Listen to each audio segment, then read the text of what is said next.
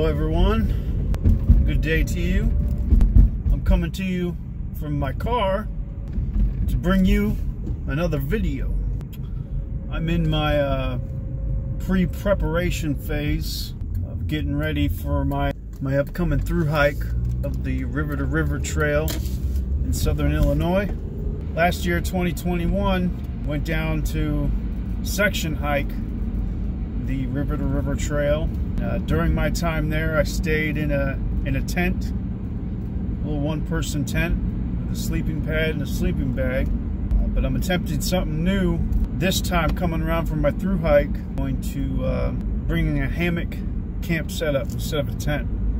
So the purpose of today's video is to determine the type of insulation I want to bring for my hammock. And I got two two options. Got the Klymit insulated static V sleeping pad and the other option a Wise Owl underquilt for my uh, Grand Trunk hammock.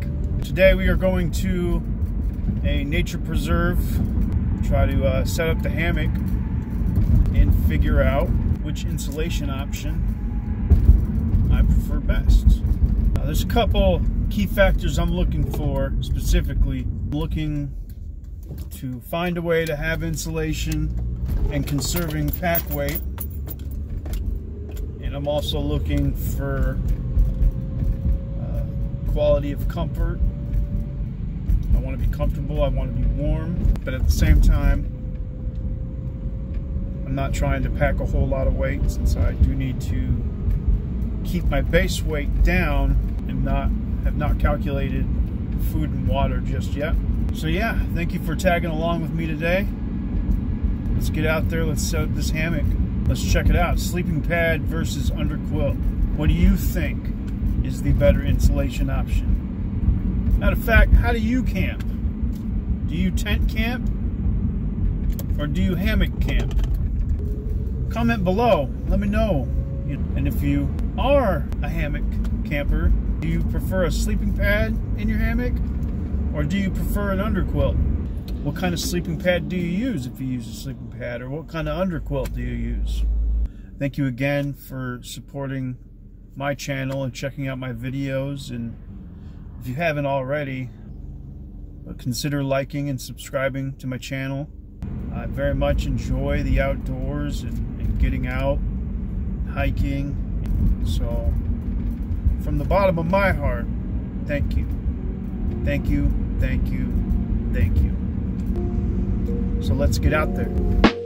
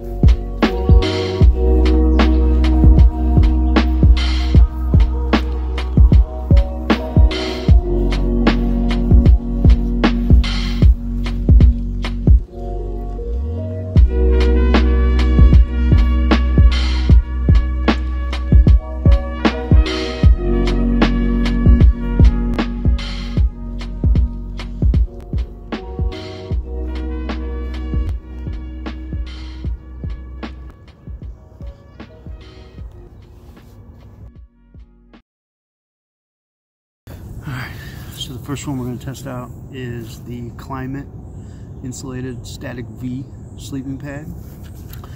And I brought a little friend to help me pump this up. My, little, my new Flextail pump. So let's get this started, shall we?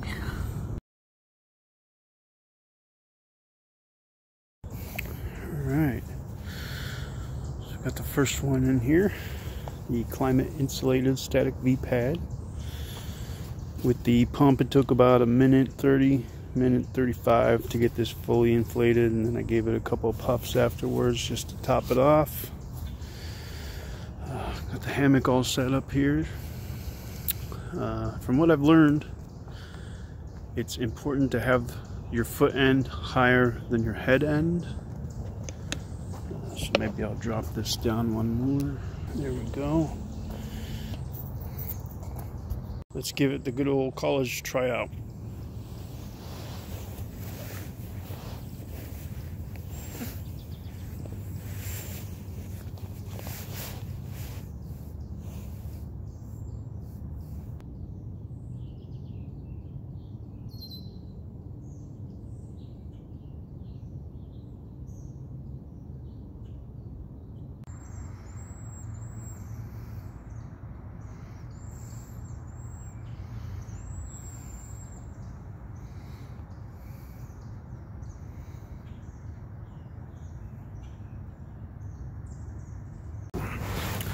One thing I'm still trying to get used to, they say you want to lay sideways so that you're more flat.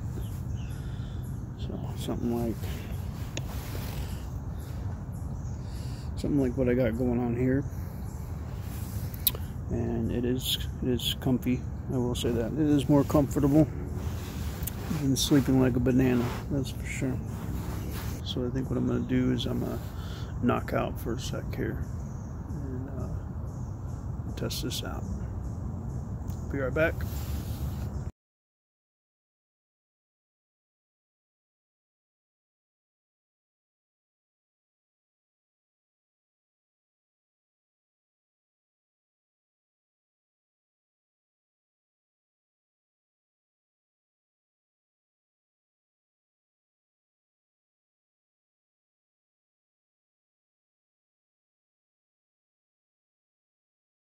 I do feel warmth underneath my body.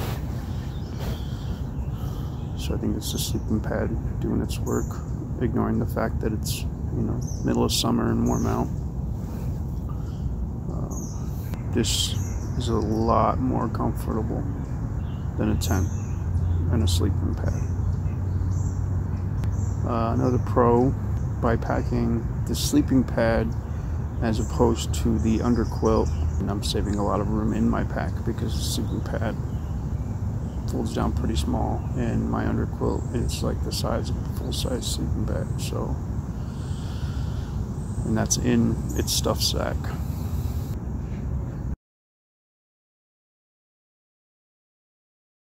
For the pad let's try out the uh, underquilt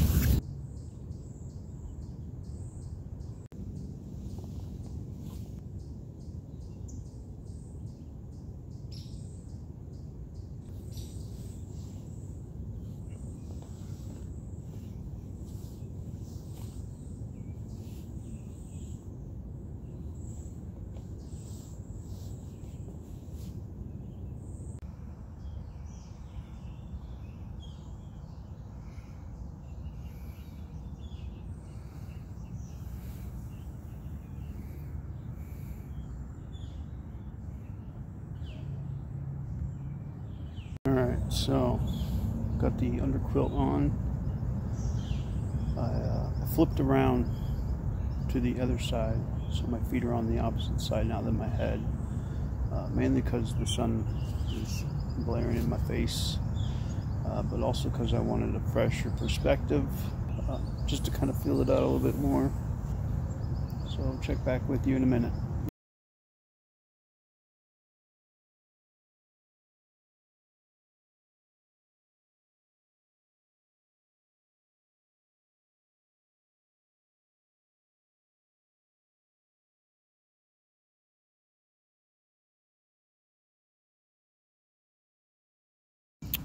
Okay, so first thoughts on the underquilt. I know you're supposed to have a bit of a gap between the hammock and the actual underquilt. There needs to be airflow. Um, there's a little bit of airflow. This thing is very warm. Uh, I know it's in the middle of summer, so it's warm out already, but I think I'm starting to sweat. It's pretty, it's pretty warm. It's, it's cozy though, so no issues with comfort for either of them. Uh, for warmth, they're both warm, but this one is like snug and a bug warm, you know? It is a whole lot more simpler to put together the to put the underquilt on than it is to put the sleeping pad together. I mean, it takes hardly any time at all to put that sleeping pad in here. But then that's also time that I have to calculate during my through hike, blowing it up, and then in the morning, deflating it, packing it up. Which I mean, I guess it's I guess it's going to take about the same amount of time for both the underquilt and the pad, really. Um, so I shouldn't be too critical on something that petty. But, uh, definitely a tough choice. Tough choice. Oh boy. No. Oh no. Oh no. I got a bad head. No. Try to fix this as much as I can. Okay.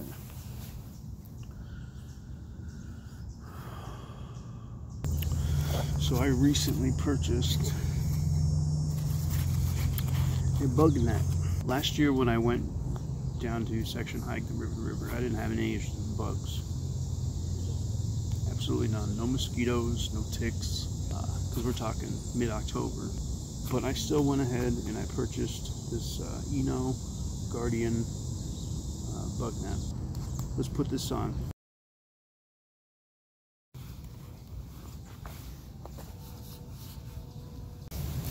So this is really nice. I like this.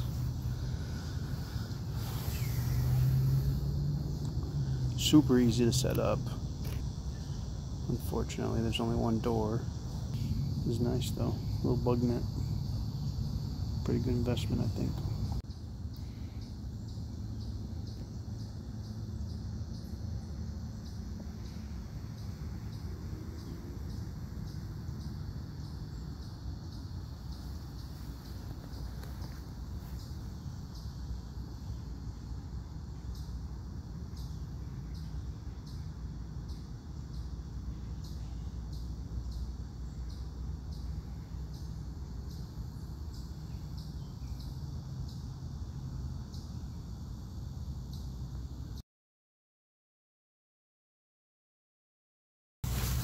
Now, I'm going to take a moment, compile my thoughts, have a little breakfast.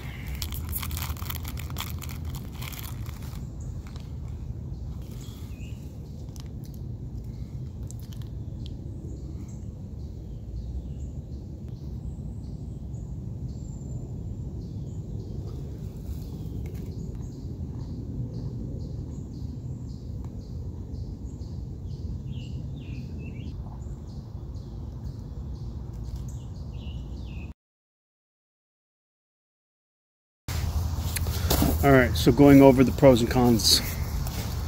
In this hand, I have the Klymit Insulated Static V inflatable sleeping pad. Um, it's comfortably warm. I would rate this equal to sleeping on a pillow top mattress when it's in the hammock. Very comfortable. Um, it does take about close to two minutes to inflate. It takes about close to two minutes to deflate and pack away.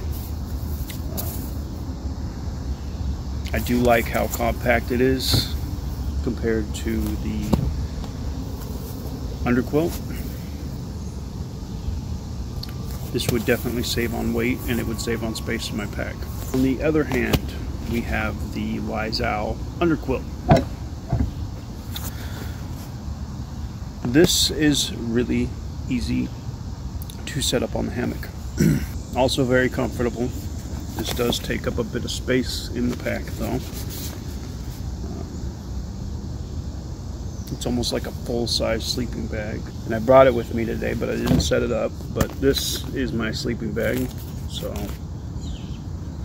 trying to save on weight. Don't want to pack a full bag, but a little bag. And this, I think, paired with the Static V is nice as far as pack savings.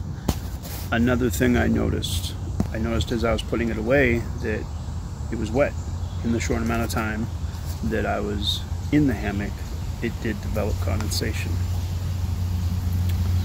So there's that. What do you guys think? I think I know where I'm sitting right now. As I'm, I'm I think I'm convinced that I'm going to be taking this for many simple reasons. And it doesn't lie. It doesn't lie. Because of the V chambers in the pad itself, um, there's enough airflow, I think, going between the hammock to prevent condensation. Well, I think that just about does it for today's video. Uh, thank you for joining along with me. I always have uh, have fun shooting these type of things, going outside and doing, you know, hiker things like setting up a hammock and taking a power nap. And we'll do this again. I'll catch you on the next one. So until then, take care.